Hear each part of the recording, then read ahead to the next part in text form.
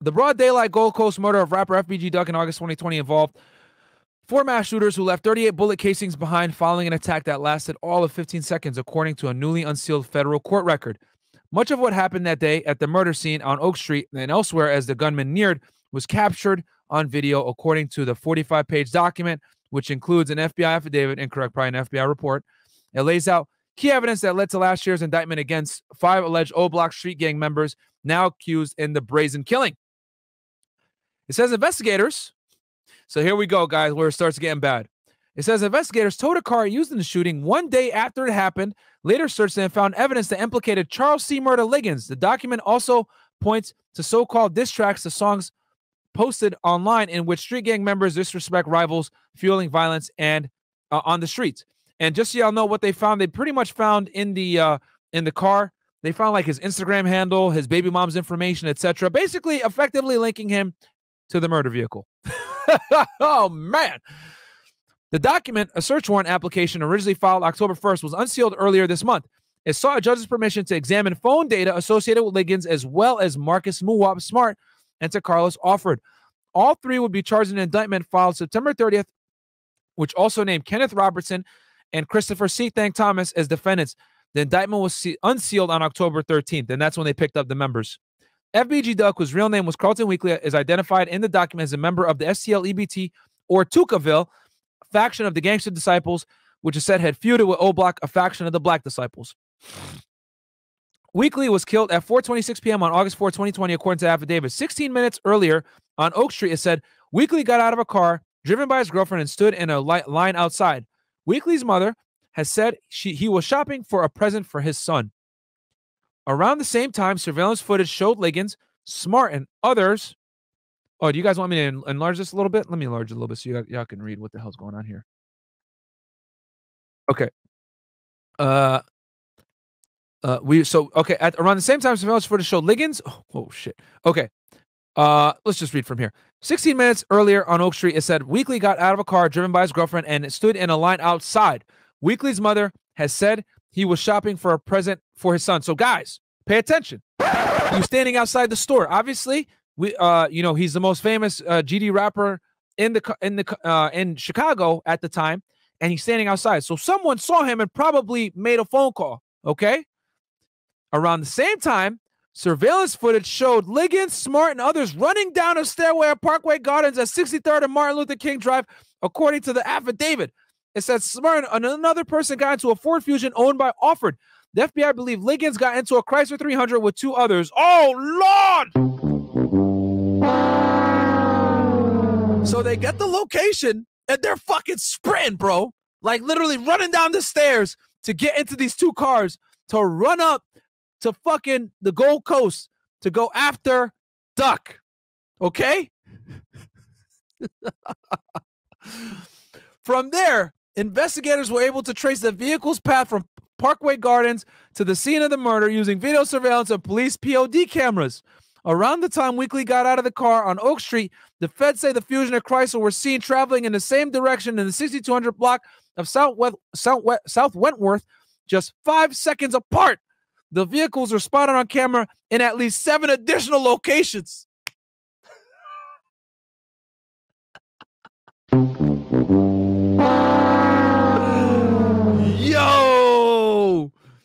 Oh my god. The video can't be shown in the description. Okay, read that one. Um, oh my fucking god, bro. Chat, are y'all enjoying this? I know you guys are enjoying this, bro. Let's get it. Okay. All right. around the same t- around the time Weekly got out of the car in Oak Street. Oh, okay. Um, so seven other locations. So they got them on red cameras, guys, on, on red light cameras, POD cameras. Bro, they basically were able to map these guys' entire trip up to the Gold Coast to try to get them. They got them running out of their old goddamn apartments in the hood back at O Block and then tracked them all the way back up to the Gold Coast, bro. Oh man. The document that lays out what happened at 4:26 p.m. in the first block of East East Oak Street. The Fusion and Chrysler stopped just in front of the dark colored sedan that had been driven by Weekly's girlfriend. Two people jumped out of the passenger side of Fusion and opened fire Weekly, who ducked with another person beside behind his girlfriend's car.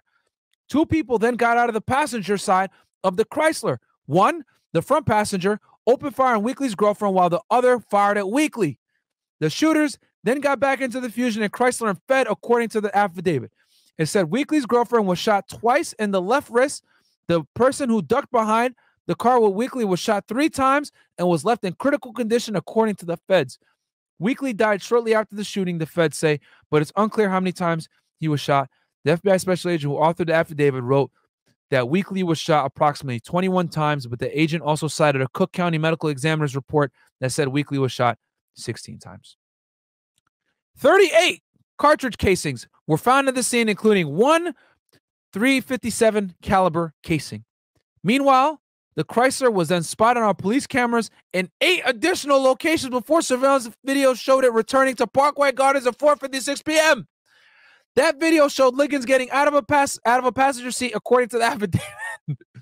the day after Weekly's killings, Chicago police found the Chrysler in the 2100 block of Gunderson in Berwyn and towed it. The document says when it was searched August 13, 2020, investigators allegedly found a handwritten note that appeared to list Liggins' Facebook and Instagram's accounts, as well as phone numbers for Liggins and baby mom, which the FBI took to mean baby mom or BM. So, okay, so it was the second vehicle that they found that evidence in. My bad, guys. I thought it was the first one. So the second vehicle, the Chrysler, not the Ford, was what they found everything in. Oh, man.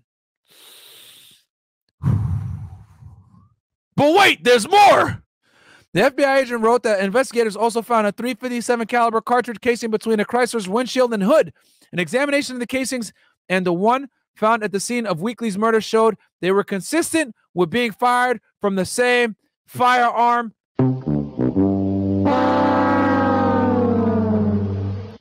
Police have previously said Weekly's shooting may might have been motivated by derogatory statements toward deceased members of the Black Disciples made by Weekly on social media.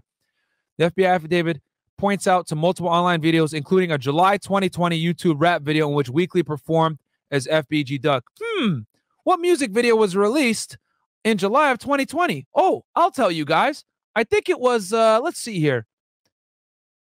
It was, yeah, it was this one right here, guys. Can y'all see this? Oh, yeah. Released Uh, Why the fuck is it acting stupid? Okay, let me move it on this side. On this side, if it's fine. Okay, let me stop sharing real quick. Look at this, guys. We're gonna. Oh. Hold on. All right, sorry about that, guys. I got I got lost in the sauce for a second. Okay, I'm gonna share this with you guys right now.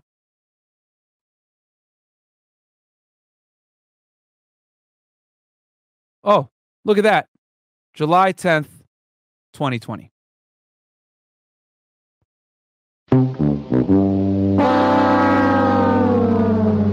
So, yeah, so they the FBI has all this evidence, man. July 10, 2020. He, the reason why he probably didn't want to put it in the thing was because the name of the song is is uh Dead Bitches. But that was I told you already, that was a song I knew before they even killed Duck that this song right here was gonna get him in hot water. So um okay, let's continue on with um let's continue on. Let me close this tab. Sorry. Okay. So we're gonna go back to the article.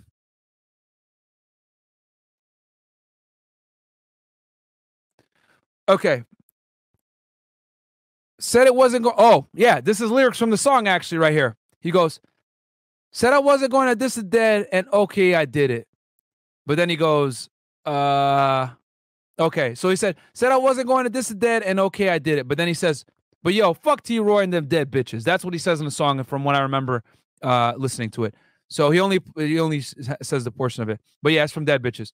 Weekly said, then the agent wrote, Weekly mentions in a degrading manner nine names, aliases, and or monikers of deceased individuals, all believed to be black disciples.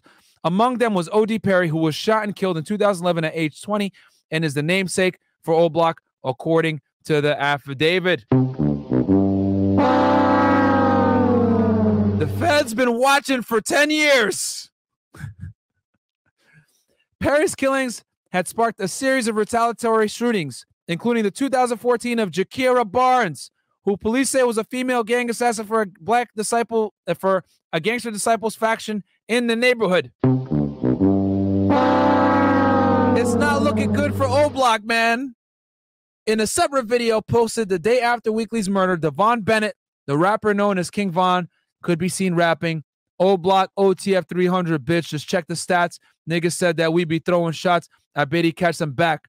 According to the affidavit, which said Bennett wore an O Block medallion in the video. Investigators took the verse as a reference to negative repercussions coming to Weekly as a result of Weekly's disrespect. In another video, the feds noted that Weekly had talked about being childhood friends with uh, Shondale Tooka Gregory, who was shot and killed in 2011. Hmm, same videos that we were watching, guys. That's why I go so crazy when a motherfucker mentions his name. You feel me? Because the motherfuckers don't know that like this shit bigger than what them niggas saying in their songs. You feel me? Weekly said. This is the guy that was uh in um this is Kenneth Robertson, by the way, guys. He was already in jail. Liggins 30 has a history of violent encounters with the police near Parkway Gardens. He was arrested in July 2019 for shoving a Chicago police officer near 64th and Martin Luther King. Officers had responded to a call of a person with a gun when a crowd formed and Liggins refused to leave, according to a police report. He pleaded guilty, to resisting an arrest, and was sentenced to a year in prison. In October 2009, officers working on a drug investigation said they saw Liggins fire at a group of men near 63rd and Martin Luther King. The officers ordered him to drop his gun, but he pointed at them and they shot him in the leg, according to a police report. He pleaded guilty to aggravated assault of an officer with a firearm and was sentenced to 18 months in prison. Liggins' co-defendant Robertson, 28, is separately charged in Cook County Criminal Court with the January 30, 30th, 2021 fatal shooting of Lorenzo Moore in Dolton. At the time of that killing, Robertson was free on bail on a Cook County gun possession charge. Holy shit, guys.